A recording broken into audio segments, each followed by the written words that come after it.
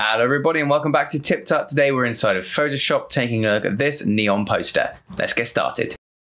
Tip Tut. Okay then, so here we are inside of Photoshop. We're going to learn how to recreate this simple poster here uh, using this kind of neonish effect uh, and this kind of grainy noise addition as well. So we're going to go to File and New. Uh, we're going to choose a print canvas here, A4 in size, and hit Create. Now, first things first, let's drop in a nice background with our rectangle tool. I'm going to choose a nice dark grey, maybe with a touch of yellow in it. Let's drag that over our canvas like so. That's a bit bright, so let's darken it up a bit. That looks good to me. Somewhere around there. Okay, great. So first thing, you're going to need to choose your text. I'm just going to select my new text here uh, and type in something random just so that I can scale it up.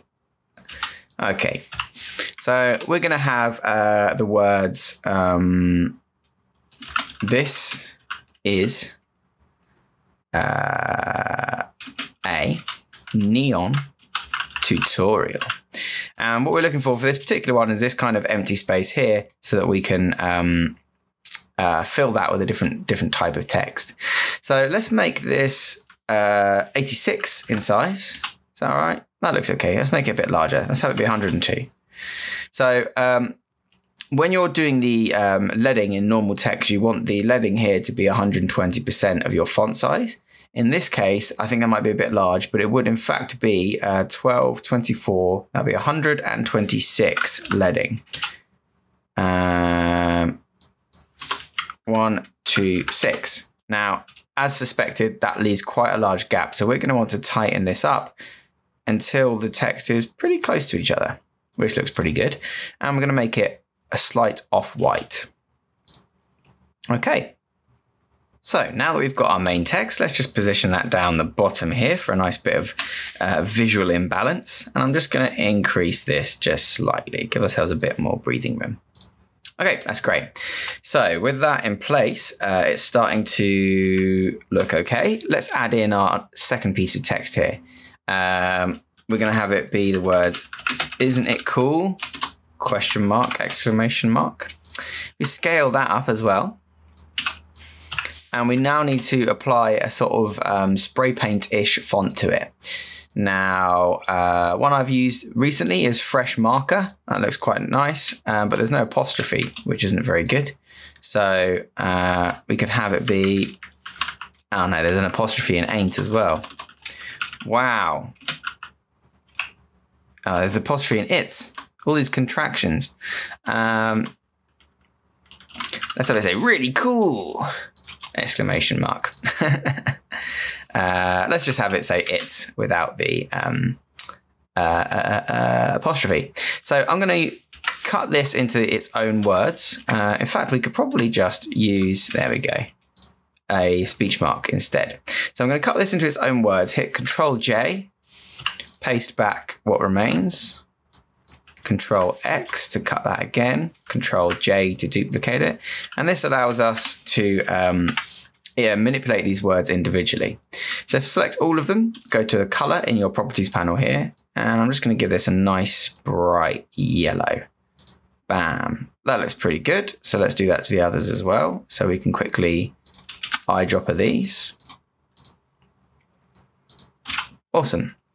Let's grab all of these and start positioning them in place.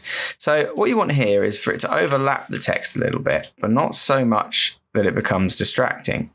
You can scale some stuff up. You can uh, rotate it a little bit.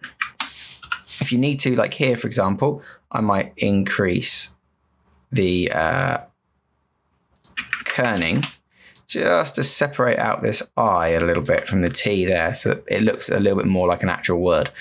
Um, take this really, put that underneath. Now it's nice I find if some of the text here touches, like the S touches the A, that looks quite good. And let's grab this as well. And pop that there. Now, this is just going to take a little bit of playing, depending on what words you've got, what words you've chosen.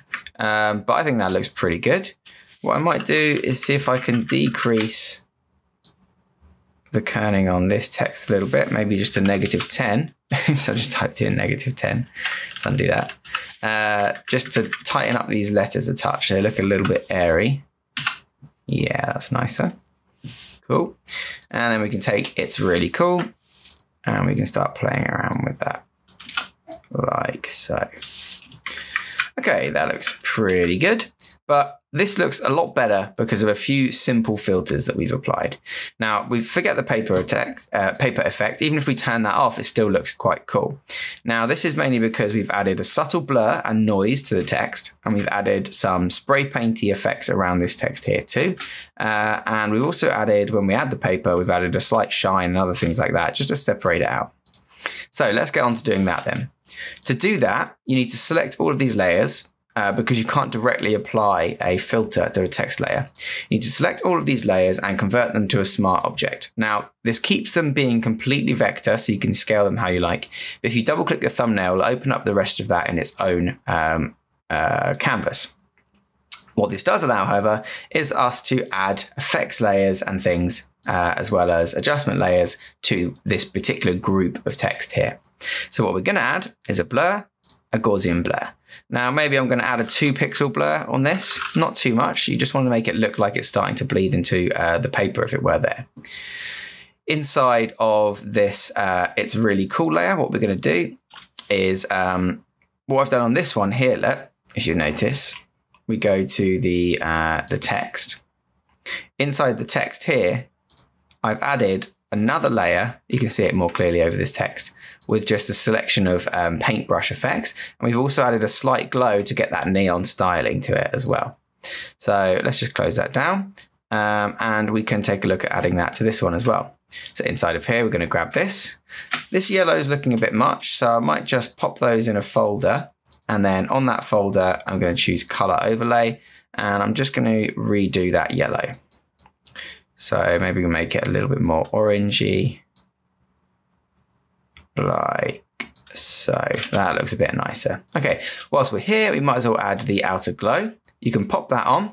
Now, I like a blend mode of normal for this technique. Uh, we're going to choose the same yellow, so it looks like it's been glowing out a little bit. And you can increase or decrease the size to your wish. Uh, and you may want to come back through and adjust this. Let's add a little bit of noise on there as well. You want to come back through and adjust this once you see it against the background with the uh, text on it. So if we save this, we'll see that update here and we've noticed we've got that glow. So on the black background, that's actually quite heavy. So we can go through and we can readjust that outer glow. Like for example, I might change that outer glow's color to be slightly darker, but decrease the size of it just a little bit, like so. Then when we pop back here, that looks a little bit nicer.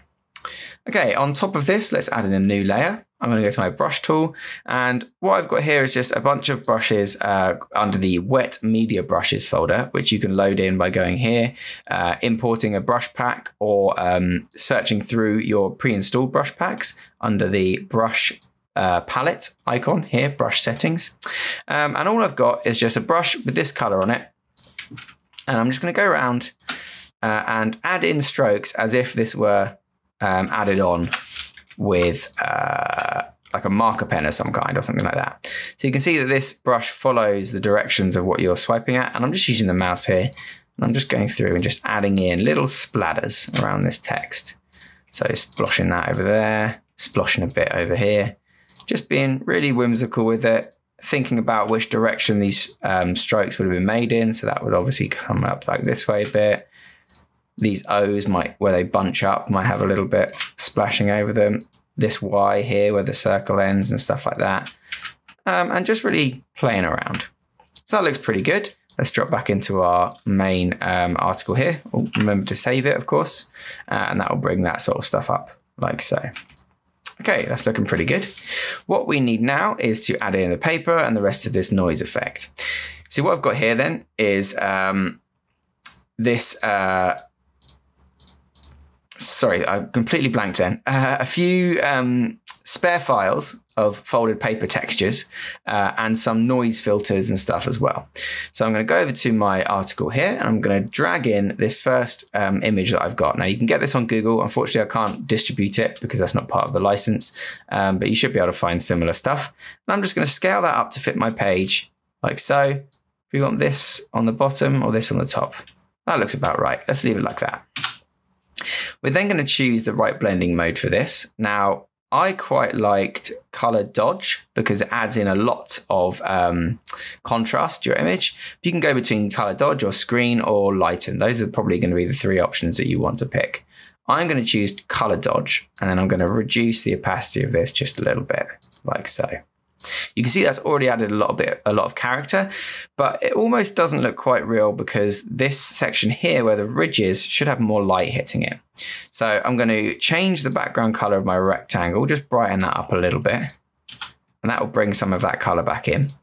Then I'm going to create a new rectangle on top of everything that is a pure white. And I'm going to make it just go to where this fold is. Okay.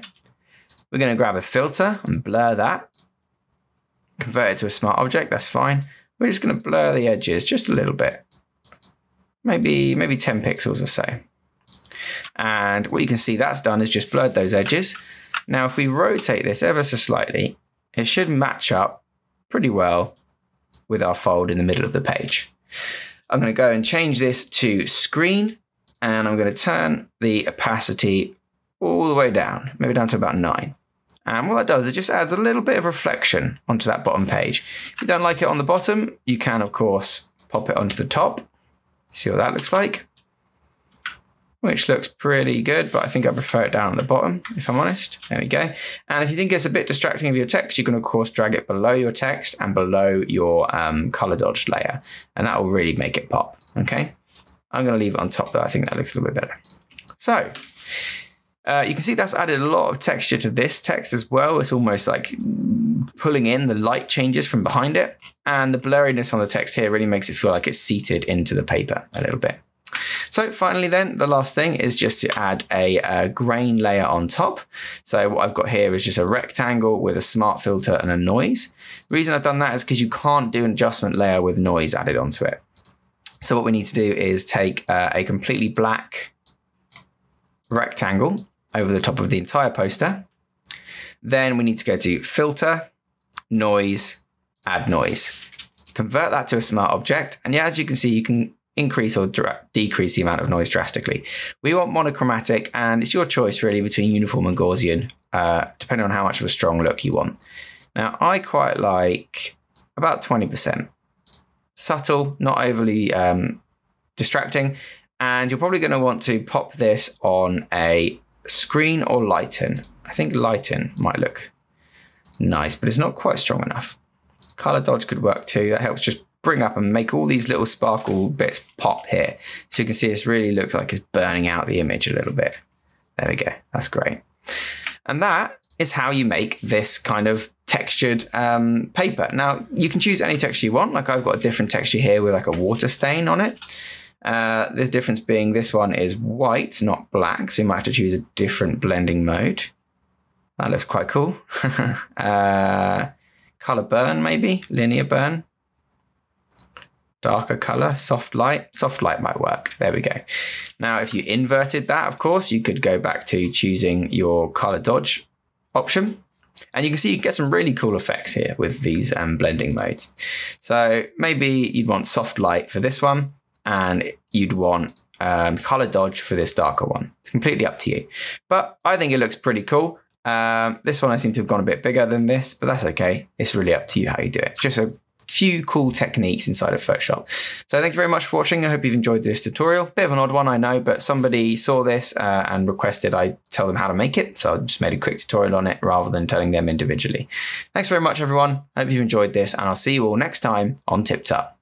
Remember to subscribe for more tips, tricks, and tutorials. Thanks for watching.